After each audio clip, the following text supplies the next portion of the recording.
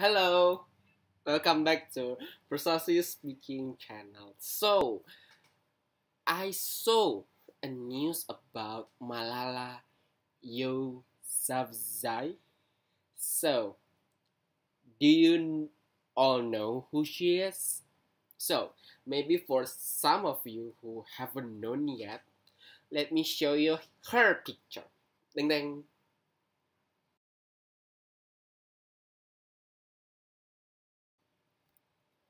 This is uh, Malala Yousafzai. So, she's a very, very incredible woman. She is, for your information, she's the youngest Nobel Prize laureate. Only in her, can you guess what was her age? So, she was only 17 years old when she got the Nobel Prize, the youngest person ever. Wow, it is very incredible, of course. And yes, she got it because she could change the mindset of the people in her home country. You know, her home country, Pakistan. So, in Pakistan, when there are not so many females that can attend education, but Malala did not remain silent because of this situation. She is different from other young people in her country. She broke the chain. She speaks up. She advocates to make better education for her country, especially for female in her country.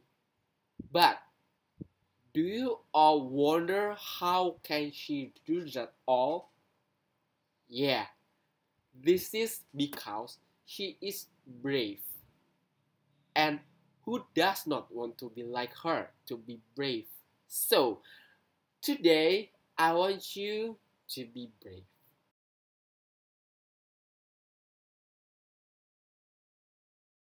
Yeah, being brave sometimes not easy being brave does not mean that you have no fear. Yeah, I remember. I remind you once again that being brave does not mean that you are that you have no fear. For sure, everyone has fear, and it's normal and it's alright. Once again, everyone has fear, and it's alright.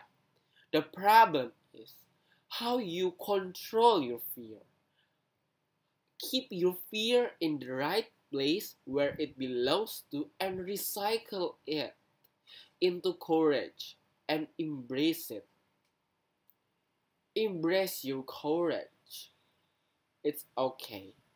Other than fear, everyone should have the courage side other than the fear side. It's like yin and yang, two of spirit element that always coexist. But you can embrace your brave, your white side more and more. Be brave if you are right. Be brave if you want to stand up about what values you believe in. Be brave if you want to do some change from something you think it is bad from something that is good. If you are not brave, everything you wish become useless because you only think it in your thoughts, but you not implement it. So being brave, I know.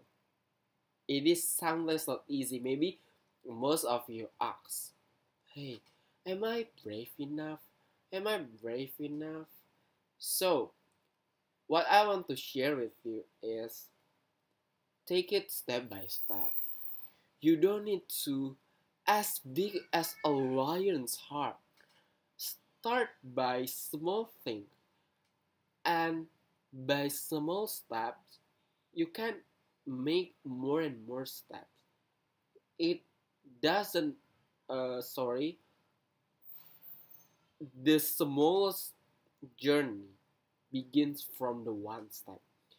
It does not matter how long the road is, but as long as you don't stop. And it is what makes everyone brave because what do they believe in, then they want to implement it. So I want you to be